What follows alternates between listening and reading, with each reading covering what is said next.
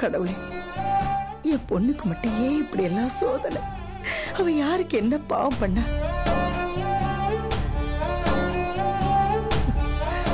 இத்தனை நாள் வந்த மாப்பிள்ளைங்கள பொண்ணு பிடிக்கலன்னு மட்டும்தான் திரும்பி போயிருக்காங்க. வேற எந்த குறையும் சொன்னதில்லை. ஆனா இப்போ என் பொண்ணு ராசி இல்லாதவ அவன் நேரம்தான் மாப்பிள்ளையோட பெரிய பாப்பாடுக்கு வச்சிருச்சுன்னு கூசாம சொல்லுவாங்க. இன்னும் என்னெல்லாம் வரப்போகுது? இவளை மட்டும் கடவுள் ஏன் இப்படி எல்லாம் சோதிக்கிறாரு தெரியல. இதுல இருந்தெல்லாம் எப்படிதான் என் பொண்ணை காப்பாத்த போறேன்னு ஒன்னும் புரியல.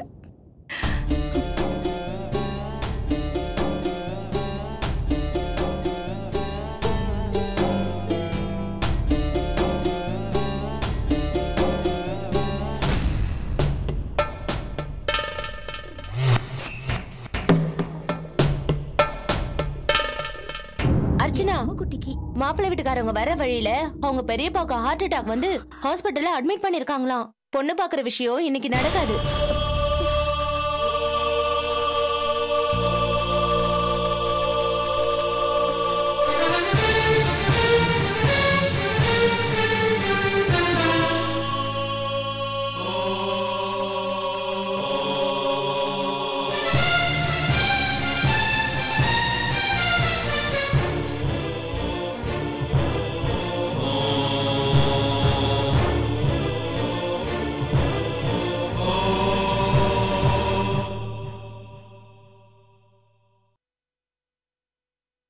பயப்படுறதுக்கு ஒண்ணும் இல்ல சார்.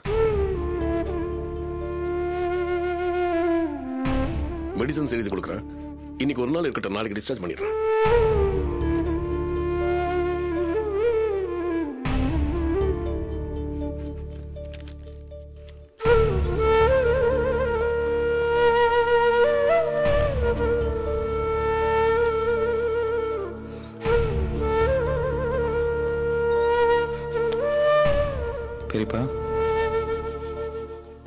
எல்லாரும் ஒரு மாதிரியா இருக்கீங்க.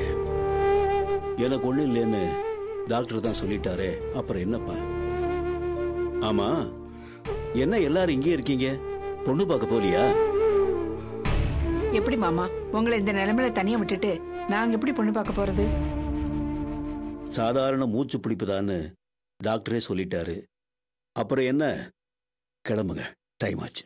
இல்ல பெரியப்பா உங்களை இந்த நிலைமையில விட்டு நாங்க எப்படி போவோம்? நீங்க முதல்ல குணமாவுங்க. பொண்ணெல்லாம் இன்னொரு நாளைக்கு பார்ப்போம் ஆமா மாமா. செல்வம் சொல்றதுதான் சரி. நாம இன்னொரு நாளைக்கு போய் பாத்துக்கலாமே. என்ன பாக்கியம்? நீயும் புரியாதவளா இருக்கிறியே. நாம வருவோம்னு பொண்ணு வீட்டுல காத்துக்கிட்டு இருப்பாங்கல்ல? நாம் இப்ப போகாம இருந்தா பொண்ணு ராசி சரியில்லை துரதிர்ஷ்டம் பிடிச்சவன்னு நாலு பேர் அந்த பொண்ணை தப்பா பேச மாட்டாங்களா? பாவம். என்னோட வியாதிக்காக. அந்த பொண்ணுக்கு கெட்ட பேர் வந்துடக்கூடாது இல்லையா? அதனாலதான் அப்பா சொல்றேன். உடனே கிளம்பி போய் பார்த்துட்டு வாங்க. பெரியப்பா உங்களை இந்த நிலைமையில தனியா விட்டுட்டு நாங்க எப்படி இங்கதான் என்ன கவனிச்சுக்க டாக்டருங்க நர்ஸுங்க நிறைய பேர் இருக்காங்களே. என்னை பத்தி கவலைப்படாம போயிட்டு வாங்க. பெரியப்பா நீங்க வந்து பொண்ணு பார்க்காம நான் எப்படி பெரியப்பா என் முடிவை சொல்ல முடியும்? நான் பார்க்கறதா முக்கியம். முதல்ல நீ போய் பாருப்பா.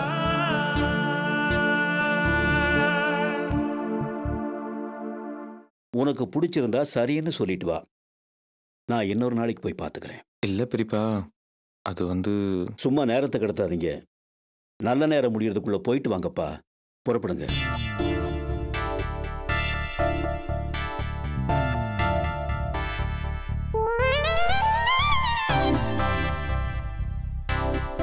சரி பெரியப்பா.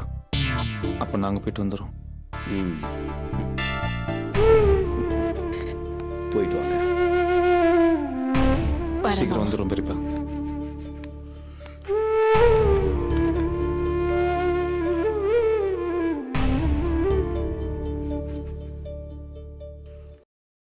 எங்க எங்க அண்ணன்?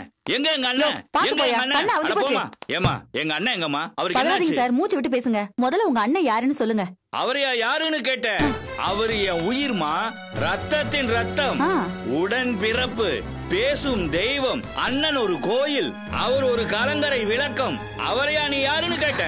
ஏங்க என்னங்க சினிமா டைட்டிலா சொல்றீங்க? பேஷண்ட் பேரை சொல்லுங்க. ஐயோ பகவானே நாராயணா உன் பேரை வச்ச எங்க அண்ணனே இந்த பொண்ணு யாருன்னு கேட்டாலே இது நியாயமா? அடுக்குமா நாராயணா? ஓ நாராயணனா? ஓ நாராயணன் இல்லம்மா. ஏ நாராயணன். அவர்தான் சார். லெஃப்ட்ல போய் கடைசி ரூம் சார். போய் பாருங்க. அண்ணா உன் தம்பி வந்துட்டேன்னா அண்ணா அண்ணா அண்ணா அண்ணா டாக்டர் டாக்டர்? டாக்டர் எங்க அண்ணன் இந்த எங்க மாதிரிலாம் அண்ணன். இதோ அங்க போய் பாருங்க. நாராயணன் அண்ணா அண்ணா அண்ணா அண்ணா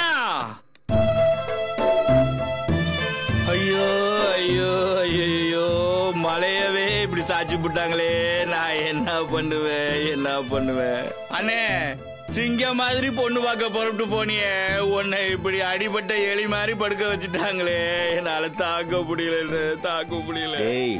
அண்ணே மதுரை வீர மாதிரி நெஞ்ச நிமித்திக்கிட்டு நடப்பியே. நீ இப்படி மல்லாக்க படுக்கலாமா? அண்ணே அண்ணே அந்த கடவுளுக்கு கொஞ்சம் கூட கருணை இல்லண்ணே. ஆமா இந்த பார். அதனாலதான் உன் பூ மாதிரி இதயத்துல இப்படி ஒரு சோதனையை பண்ணிட்டான். நான் எவ்வளவு கல்லு மாதிரி இருக்கேன். கடவுளே நீ என்ன எடுத்துக்கிட்டு எங்க அண்ணனை காப்பாத்தி இருக்க கூடாதா? கடவுளே! யார் சார் நீங்க? இங்க வந்து இப்படி எல்லாம் சத்தம் போடக்கூடாது அமைதியா இருங்க? அமைதியா இருக்கிறதா? என்னமா இது அநியாயமா இருக்கு? எங்க குல தெய்வமே கொடை சாஞ்சு போய் கிடக்குது. அதை பார்த்துக்கிட்டு நாங்க சும்மா இருக்க முடியுமா? அந்த வேதனையில ரெண்டு புலம்ப தான் செய்வோம். அவர் யார் தெரியுமா? தியாக தூண். மெழுகுதிரி சிமினி விளக்கு தியாகிமா இவருக்கு என்ன ட்ரீட்மெண்ட் கொடுத்தீங்க?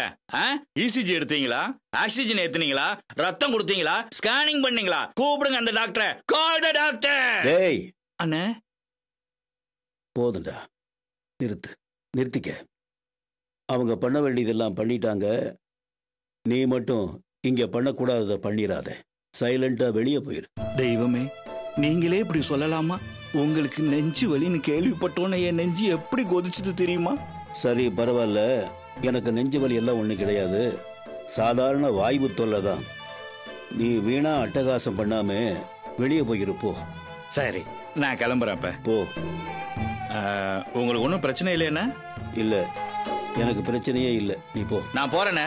ஆனா உன்னை இப்படி தனியா விட்டுட்டு எல்லாரும் எங்கண்ணா போனாங்க? அவங்கள நான் ரெண்டுல ஒண்ணு பாத்துக்கிறேன் நீ ஒன்றும் பார்க்க வேண்டாம். அவங்கள நான் தான் பொண்ணு பார்க்க அனுப்பி வச்சிருக்கேன். அண்ணே நீங்க தான் அனுப்பிச்சிங்களா அண்ணே? அப்ப சரி அப்ப சரி. சார்? அவர் ரெஸ்ட் எடுக்கணும். நீங்க வெளியில போறீங்களா? நாங்க போய்க்கிறோமா? நீங்க வெளியில போய் மத்த பேஷண்ட்லாம் பாருங்க. நான் என் உடன்பரப்பு கிட்ட ஒரு ரெண்டு வார்த்தை பேசிட்டு வந்துடுறேன். அதிகமா பேசாம போங்க சார். சரிம்மா போங்க. ஏண்டா? ஆ? என்கிட்ட நீ என்ன தனியா பேச வேண்டியது இருக்கு? அண்ணே அது வந்து ஒன்றும் இல்லைண்ணே. உனக்கு உடம்பு சரியில்லைன்னொன்னே துக்கம் தாங்கலண்ணே அதான் ஒரு சின்ன பாட்டில் வாங்கி என்னது? சின்ன பாட்டில்ல மருந்து ஊத்தி வச்சிருக்கிறாங்கண்ணே. அது நீ வேலை வேலைக்கு சாப்பிடணும்ல அதான் ஊத்தி தரட்டுமான்னு கேட்டேன். டேய் அதெல்லாம் ஒன்றும் வேண்டாம். டைமுக்கு நரசே வந்து மருந்தெல்லாம் கொடுப்பாங்க. கொஞ்சம் தொந்தரவு பண்ணாம வெளியே போ. சரிண்ணே நான் போயிட்டு வரேன். அஜுஜு ஆஸ்பத்திரியில் வரேன்னு சொல்லக்கூடாதுல்ல நான் போறேன்? நீங்க ரெஸ்ட் எடுத்துக்கோங்க கிளம்புறேன்.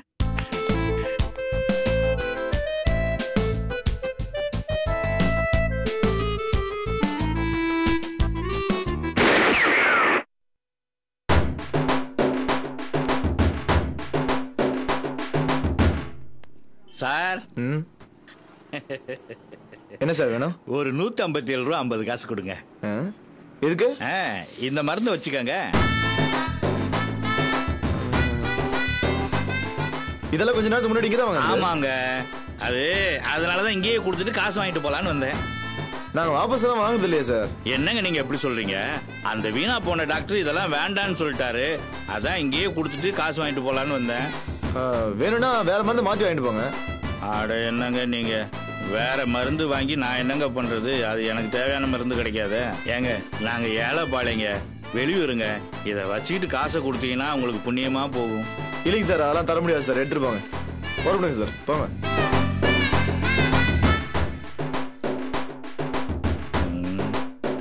ஒர்க் அவுட் ஆகலையே.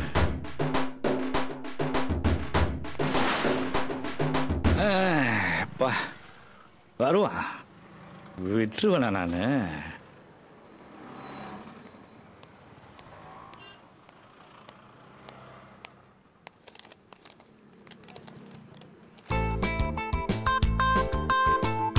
Sir sir sir sir sir sir கொஞ்சம் இப்படி வாங்க சார். என்னையா சார்? ஆமா. என்ன விஷயம்? இந்த சீட்டுக்கு மருந்து வாங்க போறீங்களா? ஆமா. அப்ப இந்த மருந்து வாங்கிக்காங்களேன். என்ன சார் விளையாடுறீங்க? இந்த மருந்தை வாங்கி வச்சுட்டு நான் என்ன பண்றது? சார் சந்தேகப்படாதீங்க. இந்த மருந்தெல்லாம் இந்த கடையில தான் வாங்கினது. சரி. டாக்டர் இந்த மருந்தெல்லாம் வேணான்ட்டாரு. கடையில கொடுத்துட்டு காசு வாங்கலாம்னா கடைக்காரு காசு தர மாட்டேன். வேணா வேற மருந்து வாங்கிக்கோங்கன்ட்டாரு. நீங்க இந்த மருந்தை காசு கொடுத்து வாங்கிட்டு இந்த மருந்தை கடையில கொடுத்துட்டு உங்களுக்கு தேவையான மருந்தை வாங்கிக்கலாம். எப்படி? சார் சார் ரொம்ப யோசிக்காதீங்க சார். நாங்கெல்லாம் வெளியூர் சார். எங்க அண்ணனுக்கு உடம்பு சரியில்லைன்னு எல்லாரும் ஆஸ்பத்திரியில வந்து கிடக்குறோம் சார். பஸ் பிடிச்சு ஊருக்கு போகணும் சார். கையில காசே இல்லை சார். கொஞ்சம் தயவு பண்ணுங்க சார். பார்த்தா பாவமா தான் இருக்கு. எவ்வளவு சார் இது? நூத்தி ஐம்பத்தி ஏழு ரூபா ஐம்பது காசுங்க. பில் எல்லாம் உள்ளே இருக்குது. வேணா உங்க நல்ல மனசுக்காக ஒரு ஏழு ரூபா ஐம்பது காசு தள்ளுபடி பண்ணிடுறேன். நூத்தி ஐம்பது ரூபா கொடுத்தா போதும். சரி. இந்தாங்க.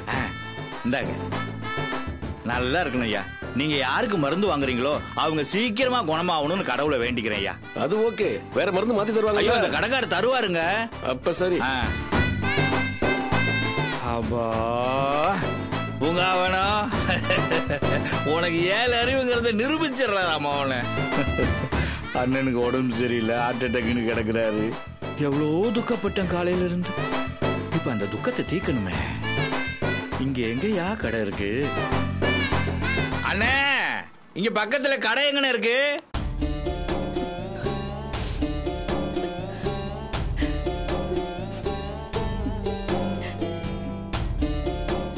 ஏன் ஏன் இப்படி எல்லாம் எந்த ஜென்மத்துல யாருக்கு என்ன பாவம் பண்ணமோ? இப்படியா? அநியாயத்துக்கு சோதனைக்கு மேல சோதனையா வந்துகிட்டு இருக்கு.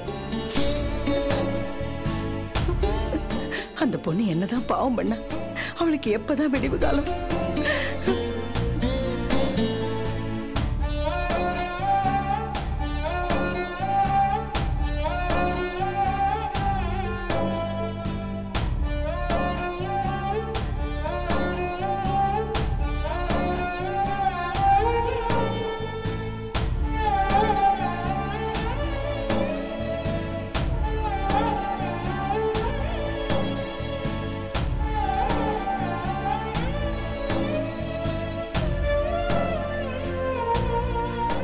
அர்ச்சனா எதுக்காக இப்ப இதெல்லாம் கழட்டுற?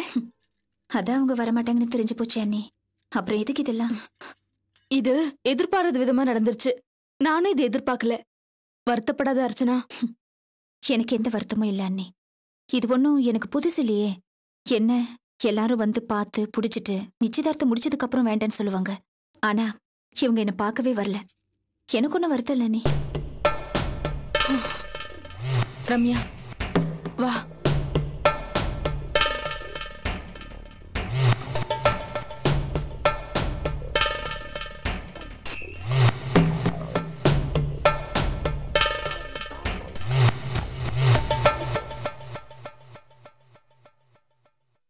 ஆஸ்பத்திரியில் அட்மிட் ஆகிருக்கும்போது குடும்பத்தோட சேர்ந்து பொண்ணு பார்க்க வருவாங்கன்னு எனக்கு தோணலை. என்ன பண்ணுறது எல்லாம் நேரம் தான் சரி அப்போ நான் வரேனே. சரி.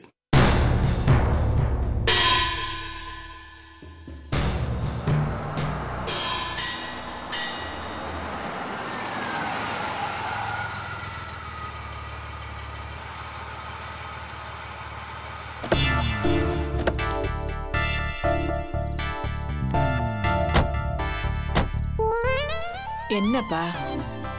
ஒன்னும் யோசிக்காத. கலகலப்பா மாப்பிள்ள மாதிரி இறங்கி வா. வா. மனசு சரியில்லைம்மா. வாப்பா. வா. அவங்க எல்லாம் காத்துட்டு இருக்காங்கல்ல வா. சார் மாப்பிள்ளை வீட்டுக்காரங்க வந்துட்டாங்க. வாங்க சார்.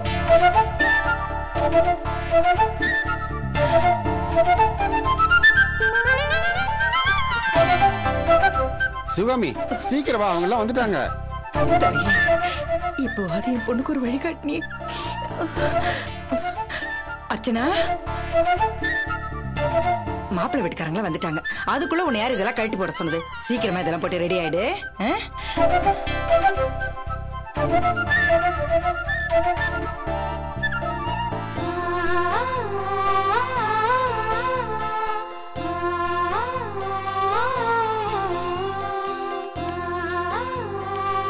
அவங்க வந்துட்டாங்க வா. வாங்க. வாங்க வாங்க. இந்த நிலைமையில நீங்க வருவீங்களோ மாட்டீங்களோன்னு ரொம்ப குழப்பத்துல இருந்தோம். நல்ல வேலையா வந்துட்டீங்க. ரொம்ப சந்தோஷமா. எங்களுக்கு கூட அவரை ஆஸ்பத்திரியில தனியா விட்டுட்டு வரதுக்கு தயக்கமா தான் இருந்தது. ஆனா அவருதான் நீங்க நிச்சயமா போய்தான் ஆகணும். இல்லைன்னா அந்த பொண்ணு ராசி இல்லாதவன்னு அக்கம் பக்கத்துல எல்லாம் பேசிப்பாங்கன்னு சொல்லி எங்களை அனுப்பிச்சு வச்சாரு. ரொம்ப நல்ல மனசுங்க அவருக்கு. இப்ப எப்படி இருக்காரு? ஒண்ணும் இல்லைங்க. டாக்டர் வெறும் வாயு பிடிப்புதான் சொல்லிட்டாரு. சரியாயிடுங்க. அவரோட நல்ல மனசுக்கு ரொம்ப நாளைக்கு அவர் நல்லா இருப்பாரு. நீங்க உள்ள வாங்க. உள்ள வாங்க. உள்ள வாங்க. ம். பாப்பா வா.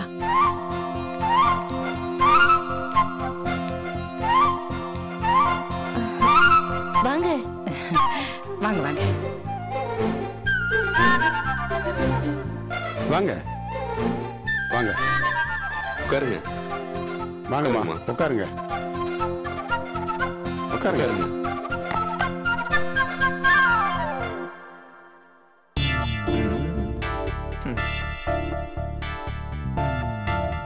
இவ என் மனைவி சிவகாமி. இது என் பையன் வினோத். வணக்கம். இது அவன் ஒய்ஃப் ஜெயந்தி. இவ என் கடைசி பொண்ணு பிரியா.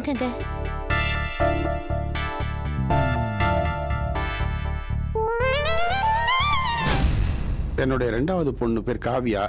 ஆபீஸ் போயிருக்கா. இன்னைக்கு அவளுக்கு ஆபீஸ்ல கொஞ்சம் வேலை இருக்கிறதுனால அவளால வர முடியல.